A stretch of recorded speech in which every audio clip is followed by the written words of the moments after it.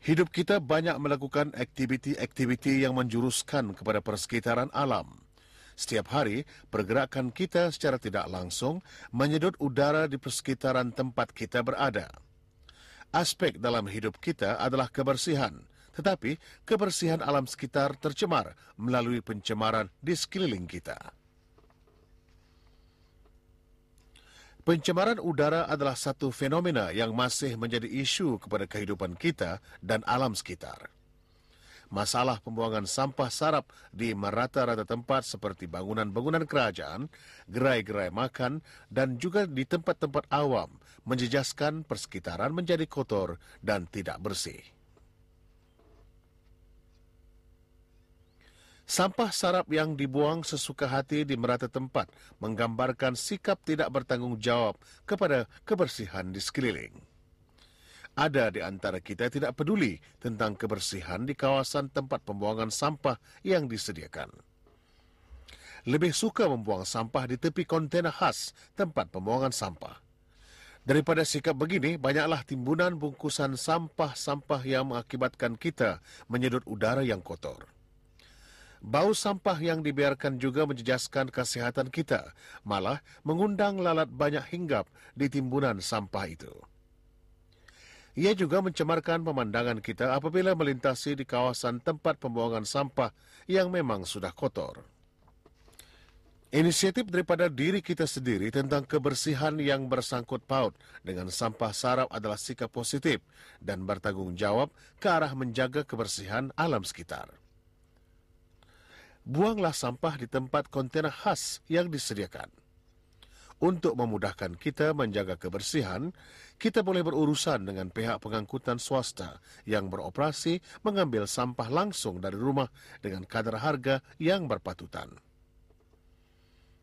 Kebersihan alam sekitar juga terjaga melalui proses sekitar semula, yakni recycle, daripada barang-barang yang sudah digunakan seperti kertas, tin-tin makanan dan minuman, botol-botol dan sebagainya. Kebersihan alam sekitar juga tercemar akibat udara di sekeliling kita dicemari dari pembakaran terbuka di kawasan-kawasan yang dilarang dan di bawah perlindungan pihak kerajaan seperti hutan-hutan simpan.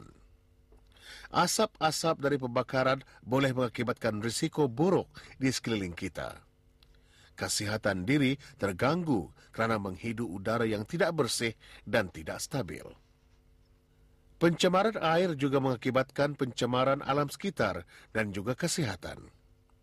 Ini kerana air adalah elemen penting dalam kehidupan. Kebersihan air tanggungjawab kita bersama bagi mengelakkan air tidak tercemar.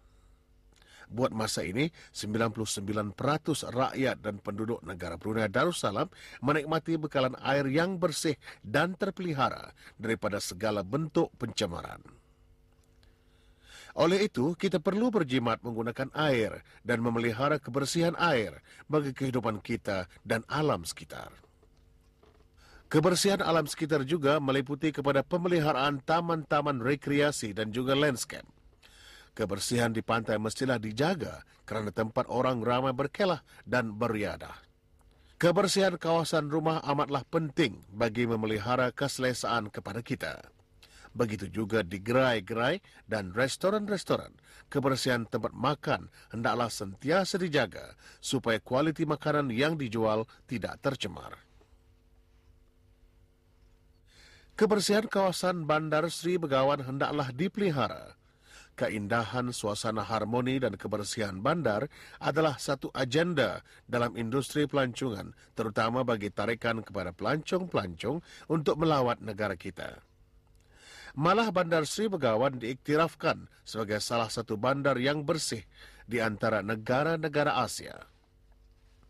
Begitu juga Kampung Air, tempat destinasi pelancongan yang unik dan menarik bagi pelancongan hendaklah dijaga kebersihan dan keindahannya supaya tidak dicemari oleh sampah sarap. Untuk menyedarkan kita dan masyarakat tentang pentingnya kebersihan dengan melaksanakan projek kempen kebersihan, Kempen kebersihan dilakukan atas kerjasama dari semua pihak sama ada dari badan-badan kerajaan maupun pihak swasta, perundingan kampung dan mukim dan juga institusi-institusi pengajian tinggi. Selalunya, kempen kebersihan diadakan seperti membersihkan pantai, kawasan masjid-masjid, membersihkan sekolah-sekolah dan sebagainya. Persepsi kita tentang kebersihan adalah penting bagi menjamin kehidupan yang sehat.